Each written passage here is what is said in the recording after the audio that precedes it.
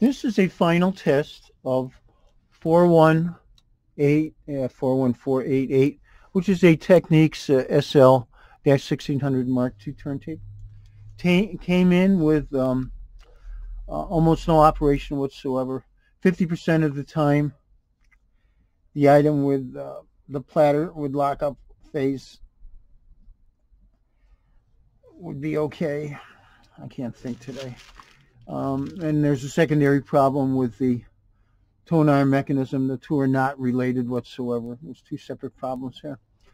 And uh, sometimes one could start, if you gave a little little head start like that, uh, the phases would lock up. If it went past the window of opportunity much, much too fast, it would never slow back down to lock phase. Um, and uh, I had some theories when I was speaking with the customer about um, the pulses and turned out to be correct. Following them on the oscilloscope uh, proved my um, suspicions. So here we go. We start the machine. This is an extremely nice turntable. Extremely nice turntable. And I don't know if that's loud enough Hopefully you can hear that. Maybe I'll turn it up a little bit.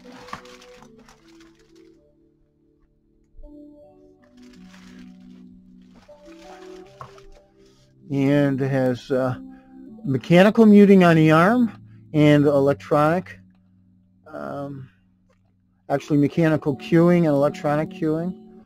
We just enabled the electronic, but uh, the mechanical on the arm, I don't know if we can see this over here, that moves simultaneously.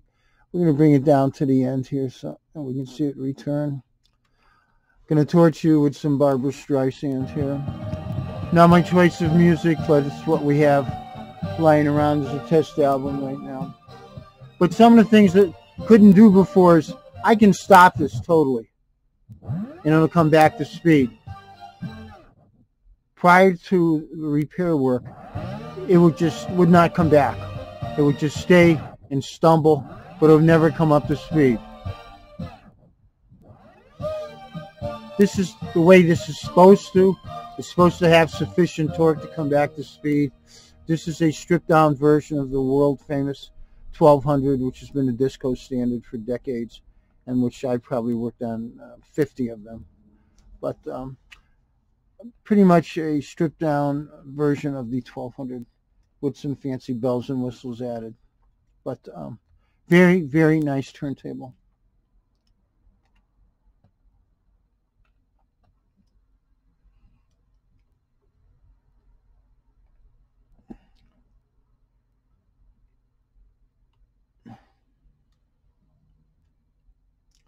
And we'll do this a couple of more times.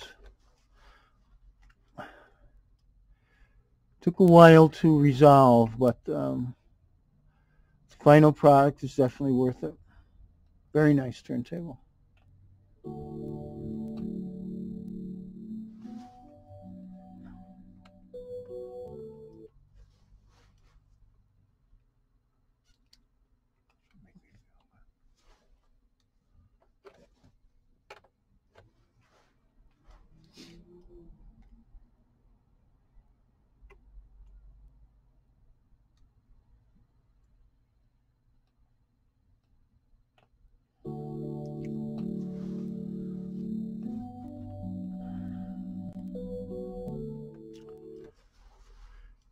And that is going to be the end of this demonstration of 41488.